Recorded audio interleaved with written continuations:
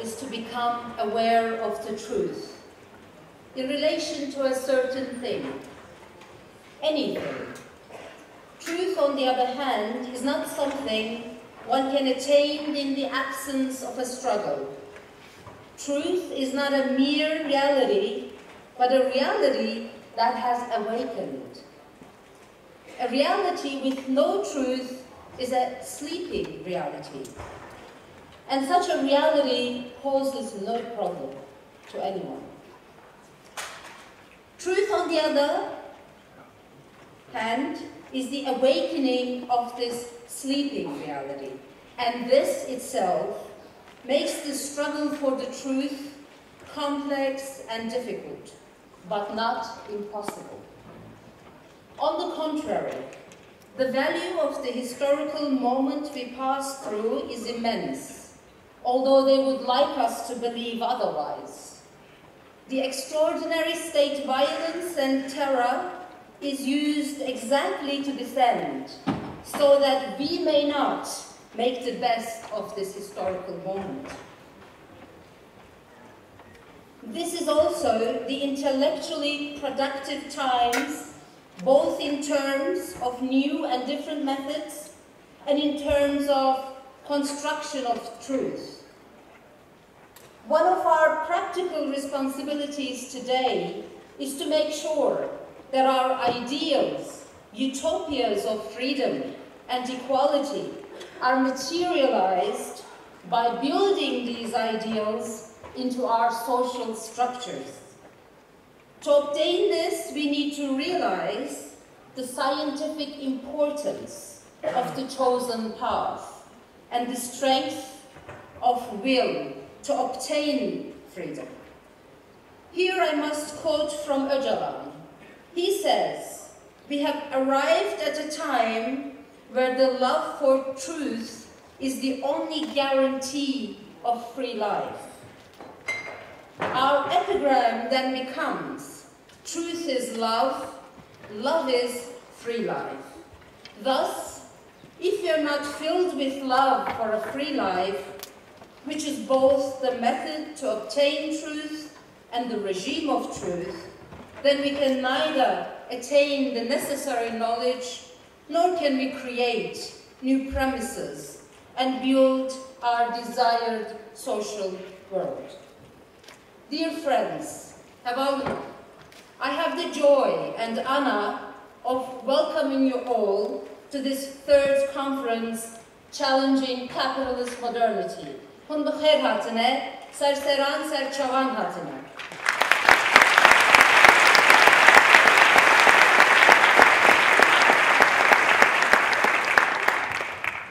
Today here, we will not talk about Erdogan nor Trump, for they are mere and temporary faces of the regime of truth that we struggle against.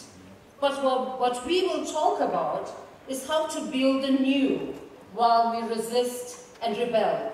And this conference, we hope, will become that drop in the ocean. But isn't the ocean the togetherness of millions of drops? When we started our discussions back in 2010, we had some general and vague ideas in mind. We wanted to share the discussions within the Kurdish freedom movement, and in particular that of Abdullah Öcalan, because we held the belief that it offered universal aspects to the quest of truth. Secondly, we felt that there was a need for a platform where movements, intellectuals, activists, feminists, and everyone else with alternative theory and practice should get together and strengthen their dialogue, network, and exchange ideas. And this is proving to be more and more important as well as necessary during such a transitional period in human history. In 2012, when we started with our first conference, we had emphasized that capitalist modernity is going through a structural change and that the result of such a change will not necessarily be more positive and progressive. Our struggles will determine the result. We wanted to contribute to this outcome with the discussions that we are holding through these conferences. What I would like to further explain today is in relation to the methods that we used in the organization of the conference. The program itself is self-telling, and the sessions themselves will be able to um, lead you through great depth. Now, one of the methods that we, we took the conferences in hand since 2012 was that to take it as an educational process.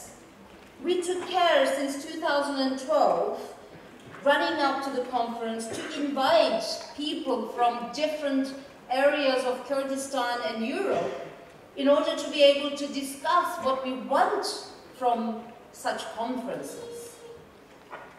What the outcome or what the discussions held should be like.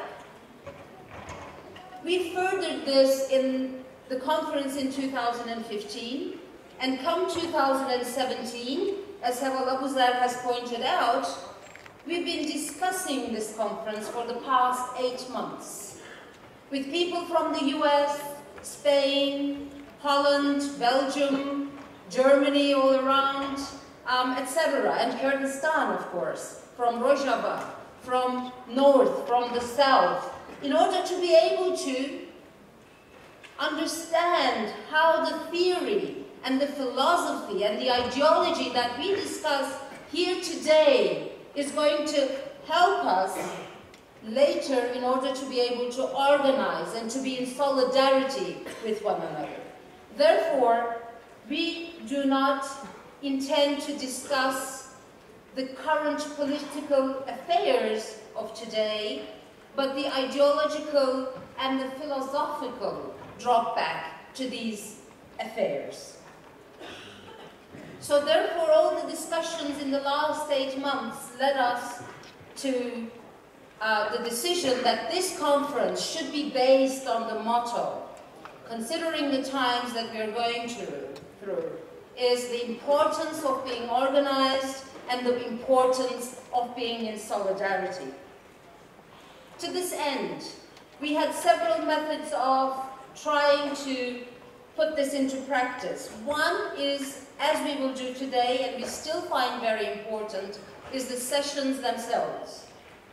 In these sessions, however, because we are doing it in such a structure, in order to be able to disperse the hierarchy that will automatically form here on the tables that we will build in a little bit, what we tried to do was to dissipate that through um, involving a model of the society in the session. So therefore, different identities, youth, women, men, um, different statuses, renowned intellectuals, um, activists, movements, feminists, uh, as well as um, we had call for papers.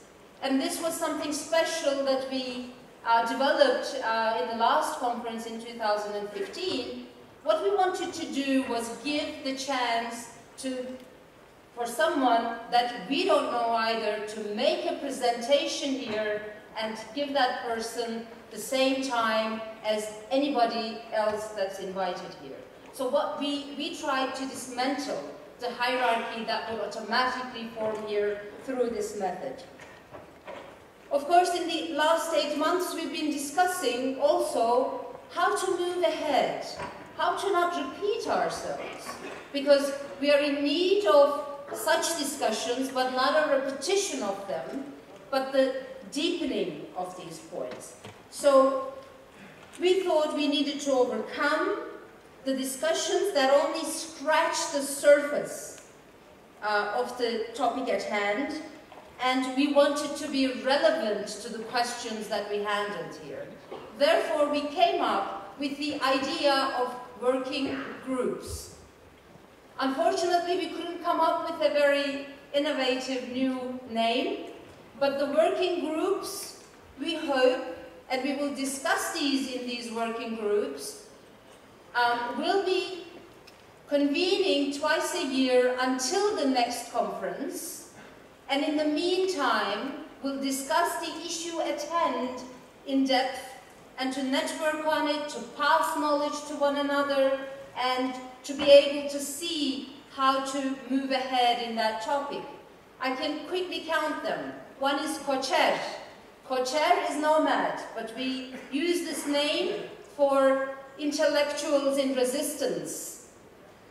This working group is there to be able to see how we can give back the intellectualism back to the society and not to have it only with a certain elite and to be able to see whether we can actually form a universal curriculum um, in, in learning, in, in um, education that can aim the freedom of society, equilibrium uh, between different living beings. The second is education, perverde. There we wanted to discuss the methodology of education as well. And we have invited lots of people from different parts of the world so that the knowledge in this area can also be exchanged. There is also, of course, Jineology. What we wanted to do is provide a platform where different feminists, activists, um, Jineology committee itself could come together and pass on the knowledge to further the science from the perspective of women. As well as that, we had Khazai, which means nature uh, in Kurdish, and so ecological economy. Uh, we've again convened lots of people in this area, and we are hoping to also learn both from the lessons and also advancement of um, different movements around the world. There is also, of course, Azadi. What we are seeing, and Azadi means freedom, what we are seeing increasingly around the world is increase in political prisoners. And represented in the personage of Abdullah Öcalan and all the political prisoners, as has been mentioned, who are on hunger strike right now in Turkey, we would like to see how this criminalization process of people who struggle for better rights and freedom can be handled. There is also Ragihandin, which is alternative media. We hope to again bring different media um, movements or persons together to be able to network among themselves as well. Now, of course, there was one thing lacking in the past conferences. There was not enough room for discussion. We had so many people uh, in the sessions, which was great, of course, because one aim of this conference is to bring the knowledge to us. So listening is a part of it. And then, of course, the other part is to discuss uh, and put our own inputs into this. Therefore, we have the workshops. And in these workshops, and you'll find them outside, it will also be on a specific topic where um, ideas can be exchanged and the discussions can be deepened uh, there as well. And at the end, of course, and the buildings are separated for workshops and working groups. At the end, what we would really like is that the workshops are able to, during the course of the conference, and the working groups, in whatever form they like, in the Mensa, they can give the conclusions of their discussions to everybody else and exchange the ideas there. And please, if you can, at maximum 2,000 words, um, give us the conclusions of your discussions so that it can be included in this year's conference book to be readied by the year ahead. Now, there are so many people who have actually contributed to this conference. But I want to start by remembering Mehdi, who was from YPK, and Ellen from Tatort, Kurdistan. They have been very active in the preparations of these past two conferences, and unfortunately we have lost them due to illness. I would like to remember and let us all remember them um, for the struggle that they have waged. Now, of course, I don't know where else to begin because although a Network for an Alternative Quest has led the discussions and the preparation um, for this, but so many people, and I want to start, of course, with the, the huge translator team behind me with seven languages who are here to ease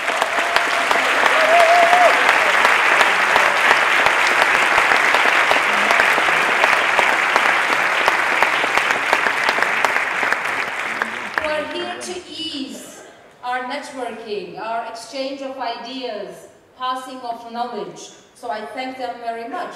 But of course, I want to thank all the Kurdish and German people who have opened their homes once again to us. This is the third time. It has not been easy. It has not been easy for you either. It has been maybe until 2, 3 a.m. that you were able to go to your host homes. So I thank all the families here in Hamburg for giving us a safe and warm place to stay so that we can further our discussions. Thank you for your solidarity.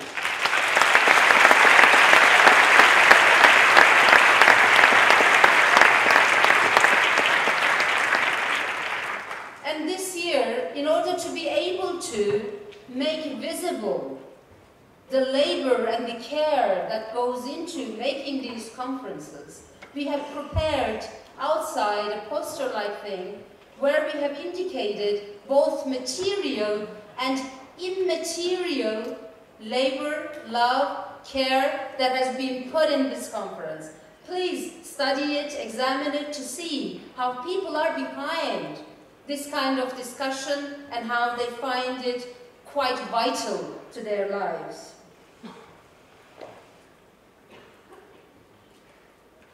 Now, finally, of course, I would like to also thank the collective who's cooking for us during the three days, as well as the collective that is making coffee for us. And I have to point out that they are donating all the money that comes from there and it will go to the expenses of this conference. So thank you to them as well.